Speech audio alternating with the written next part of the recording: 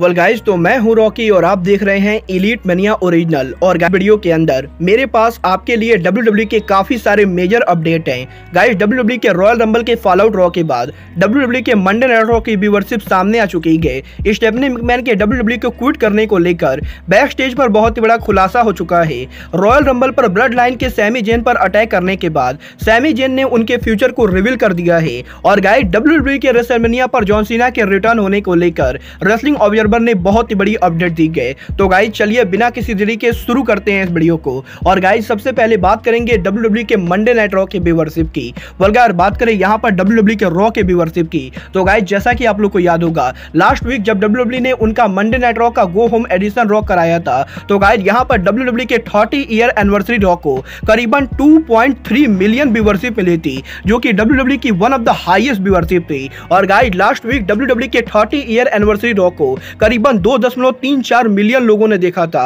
But guys यही अभी सप्ते जब डब्ल्यू के रॉयल रंबल का फॉल आउट रहा हुआ है। तो गाइड डब्ल्यू के रॉयल रंबल के फॉल आउट रहा होने के बाद भी डब्ल्यू के मंडे नाइट रॉ की व्यूवरशिप गिर चुकी है। जहाँ पर इस हफ़्ते डब्ल्यू के मंडे नाइट रॉ शो को मात्र 2.1 मिलियन लोगों ने देखा है। और गाइड डब्ल्यू के कल हुए मंडे नाइट रॉ की व्यूवरशिप है 2.1 मिलियन जो कि लास्ट वीक के मुकाबले कम है। बट गाइड जहाँ तक बात रही 18 बाई 49 डेमोग्राफी फिगर की तो गाइड 18 बाई 49 डेमोग्राफी फिगर के अंदर डब्ल्यू के थर्टी ईयर एनिवर्सरी रॉ की रेटिंग थी पॉइंट सेवन तो गाइज़ वहीं eighteen by forty nine demography figure के अंदर ए डब्ल्यू के कल हुए रॉ की रॉ की रेटिंग थी पॉइंट सिक्स फोर और गाइज़ यहाँ पर डेमोग्राफी फिगर के अंदर भी डब्ल्यू के इस हफ़्ते का Monday night Raw show last week के मुकाबले फ्लॉप रहा है।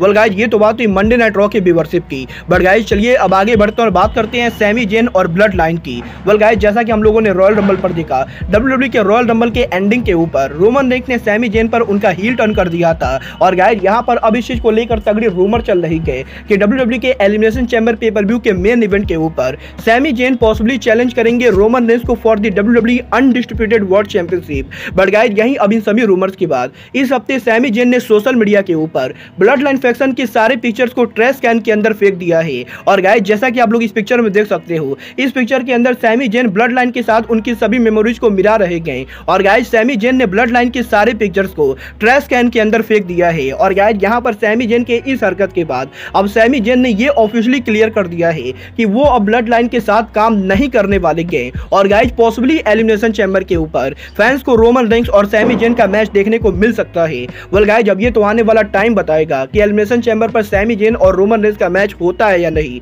बट गाइज़ जहाँ तक बात रही डब्ल्यू e की तो गाइज़ यही अभी सप्ते डब्ल्यू के अंदर से स्टेपनी मिकमैन की कंपनी को लीव करने को लेकर। रेसलिंग ऑब्जर्वर की तरफ़ से बहुत ही इंटरेस्टिंग अपडेट सामने आ रही है जहाँ पर इस हफ़्ते रेसलिंग ऑब्जर्वर का ये कहना है कि डब्ल्यू के बेस्ट स्टेज के ऊपर लोग स्टेपनी मिकमैन को बहुत ही ज़्यादा पसंद करते गए। और गाय यहाँ पर डब्ल्यू के बेस्ट स्टेज के ऊपर डब्ल्यू के बहुत सारे रेसलर और ऑफिशियल्स का ये मानना है कि विंस मिकमैन के डब्ल्यू में रिटर्न होने के रीजन की वजह से स्टेपनी मिकमैन ने मेनली डब्ल्यू को क्विट किया है। क्योंकि गाय यहाँ पर लोगों का ये मानना है कि विंस मिकमैन के डब्ल्यू में रिटर्न होने के बाद स्टेपनी मिकमैन को उनके पोजीशन से डिमोटिवेट किया जाता था।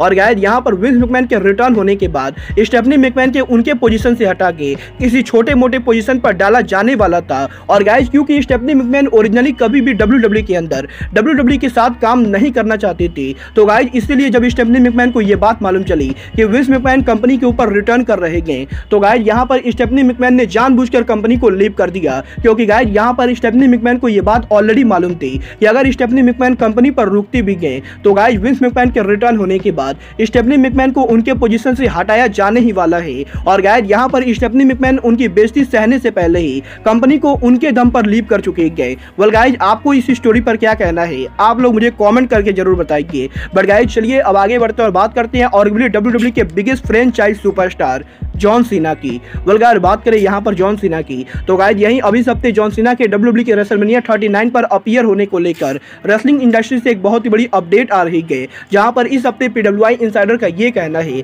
कि जॉन सीना पॉसिबली डब्ल्यू के रेसलमेनिया 39 पर अपियर नहीं होंगे, क्योंकि गायद यहाँ पर अगले मंथ जॉन सीना उनके मूवी के शूटिंग के लिए जा रहे गए और गाइज़ यहाँ पर हॉलीवुड के अपकमिंग मूवीज़ के लिए जॉन सीना ऑस्ट्रेलिया के अंदर शूटिंग करने वाले गए और गाइज़ क्योंकि यहाँ पर जॉन सीना की मूवी की शूटिंग अगले महीने से शुरू होने वाली है। तो गाइज़ इसीलिए इस चीज़ के बहुत ही कम चांसेस हैं कि जॉन सीना डब्ल्यू के रेसलमेनिया पेपर व्यू तक अमेरिका में वापस आएँगे। और गाइज़ यहाँ पर लगभग ये चीज़ कंफर्म मानी जा रही है कि जॉन सीना इस साल के रेसलमेनिया पेपर व्यू पर काम नहीं करेंगे। वेल गाइज़ जब ये तो आने वाला टाइम बताएगा कि जॉन सीना रेसक अमेरिका वापस आकर डब्ल्यू पर उनका रिटर्न करते गए, या फिर जॉन सीना रेसलमेनिया पर अपियर नहीं होते गए। बट गाइज़ अगर जॉन सीना रेसलमेनिया पर रिटर्न होते गए तो गाइज़ आप लोग रेसलमेनिया पर जॉन सीना का मैच किसके साथ देखना चाहोगे? आप लोग मुझे कॉमेंट करके ज़रूर बताएँगे बट गाइज़ अब आज के इस वीडियो में बस इतना ही। मैं मिलता हूँ आपसे अपने अगले वीडियो में। बट गाइज़ तब तक के लिए goodbye good night and bang